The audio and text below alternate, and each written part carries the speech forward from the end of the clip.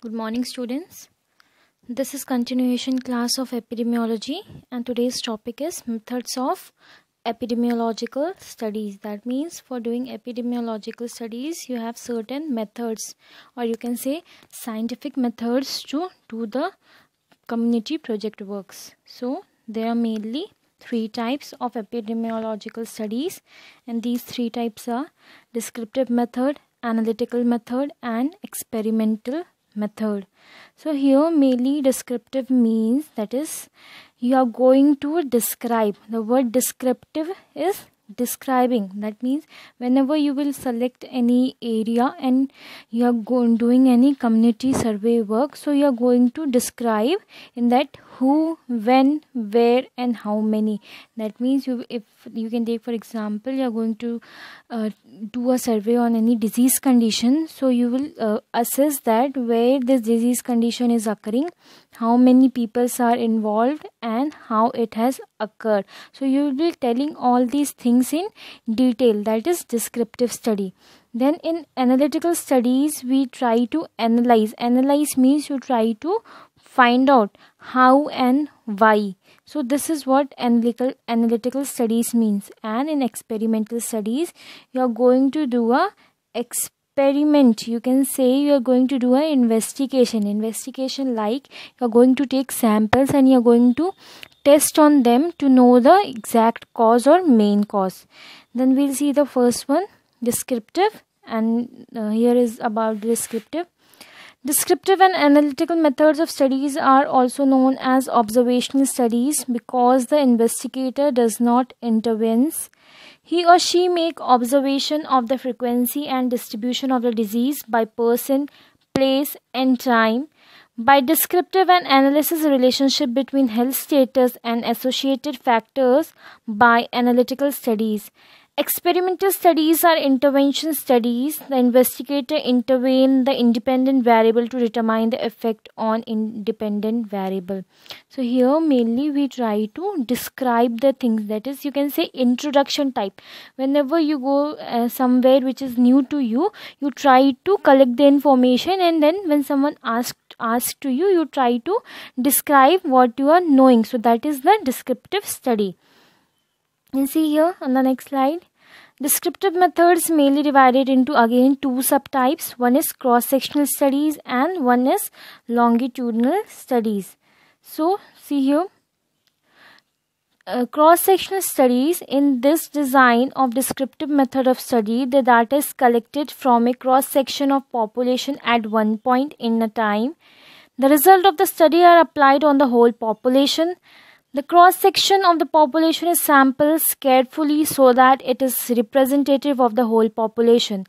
Cross section studies like a snapshot and provides information. So you can say whenever there is uh, great number of samples, sample means people. So there are great number of people and you cannot take interview from all the persons. So what you do, you select a small sample from them and you uh, do a interview or interrogation and whatever result you will get that you will apply on the whole population. You can take the example of the whole class. In a class there are 40 students. Uh, take your class example in your class there are 40 students. So whenever teacher teaches a classes or you can say when a teacher takes a class of a 40 students and she uh, calls one student from the class and if she is asking do you have any problem related to subject or not? So whatever answer that one student will give she will take it as about 40 students. That means if one student is understanding she understands that all the 40 students have understand. Same as cross section studies. In cross section studies the sample that is population is very big. So they cannot do survey on whole big population. So out of that big population they take a small group and uh, whatever they get from that small group the same thing they apply on the whole population. Then we'll see the longitudinal studies so in longitudinal studies, we try to follow up. Follow up means after uh, whenever uh, when you ever you are doing certain uh, things like uh, you can say you are giving health education treatment to the people. After that, you will take a follow up whether they have understood and they are following or not. So let's see here Longitudinal studies in this design, the data is collected from the same population repeatedly over a continuous period of time by follow-up of contacts and their examination. Longitudinal studies are useful for studying the natural history of diseases, finding out incidence rates of disease and identifying risk factors of disease. Longitudinal studies are more expensive and time consuming than cross sectional studies. So, in cross sectional studies, you was taking a small group on behalf of whole population and you are doing a study. So, in this longitudinal studies, they are doing repetitive studies on the same group and whatever result is coming, they will apply it on the whole group. Um, that means whole population. And this is for the purpose to know the cause of the disease condition, what is prevalent among the people there. Then we'll see the next one. Analytical method. The descriptive study we generate etiological clues for various diseases which help in formulating a guess of hypothesis or further rigorous study or testing. Then these type of hypotheses are further studied and tested by analytical studies to determine the associate of cause with the effect. Thus, analytical studies go beyond and descriptive studies. Analytical studies are more specific in focus, test hypothesis, and attempt to determine causal factors of disease. Analytical studies are of two types.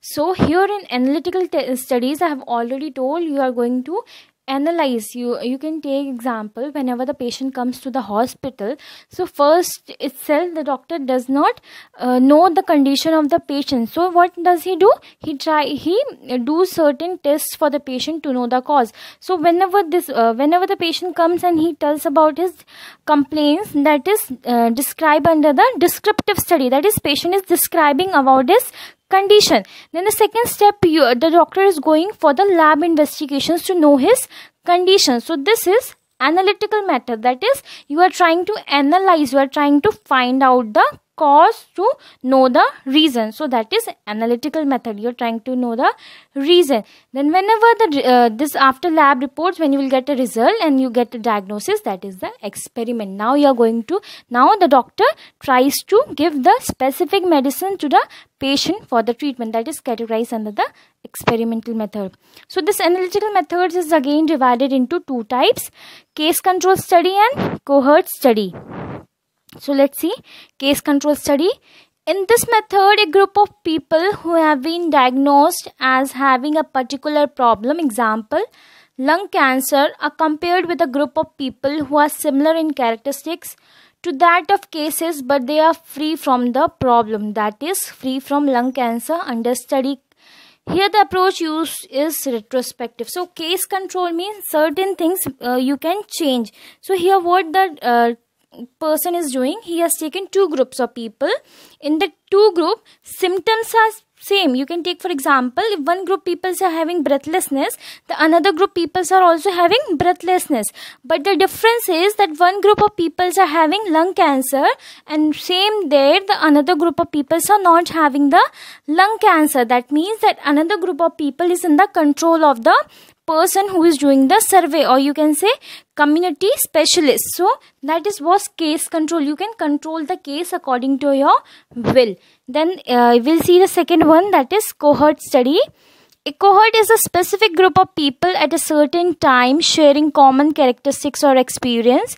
Example people born on the same day or the same year couple married in the same year class of nursing students people with same occupation etc Cohort studies can be designed in three different ways. These are prospective, retrospective and combination of prospective and retrospective. So what cohort study is telling? It is telling the people with same characteristics are in one group. They are not finding people of different categories but they are going to the people those who are already in same category. You can say like uh, nursing students, then a married couple, then they can go for the uh, people those who are born on the same day or on the same year. So they are categorizing the people those who are already having similarities. Then this is divided into two that is retrospective and uh, prospective. So this retrospective and prospective is based on the direction or you can say based on the time. So this prospective is conducted forward in time. So in uh, prospective we are going to see the future things what can happen. Then in retrospective we are conducting backward in time. That is what has already happened in the past. So see here prospective cohort study Cohort uh, study is prospective in nature because the group under study is free from the disease but exposed to risk factor and epidemiologists study the development of a condition over time. In this method of study, the epidemiologist selects a cohort that is a group of people say in the same age group and who are exposed to risk factor, say cigarette smoking and a group of people in the same age group and other similar characteristics but not exposed to the risk factors. So, as I've told you, prospective is future study. So, here the epidemiologist, you can say scientist, is taking two group of people. In that two group of people, one group of people are having chances of ha- you can say not chances one group of people are having risk factors of certain things and another group of people are totally healthy. But they can have risk of getting future uh, any disease condition. So they have kept these two groups of people and they are trying to study about the future or disease condition that can cause danger to the human being.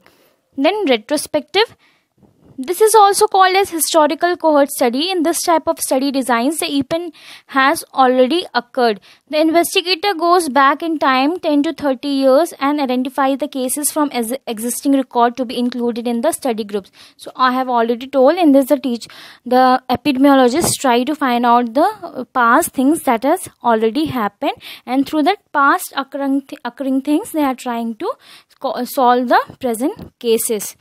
Then we'll see the next one experimental method. Experimental studies are similar in approach to cohort studies except that conditions are under the careful control in, of investigator. Experimental studies are done to confirm the etiology of diseases, establish the efficiency of preventive or therapeutic measures and evaluate healthcare services. So I have already told you the experimental method is investigation in which you are trying to know the exact cause of the disease and then you try to help the people with the treatment or control of diseases. So this is under the experimental method in which the epidemiologist tries to investigate about the health of the people. So today's topic we have seen about the methods of epidemiological studies which is the main code to do the epidemiology. So in this there are mainly three types descriptive analytical and experimental methods. Descriptive has again two subtype case control and uh, sorry descriptive has two types cross sectional studies and longitudinal studies. Then analytical has also two types case control study and cohort study and experimental has no subtypes so that's all for the today's cl class. Thank you to all the first year students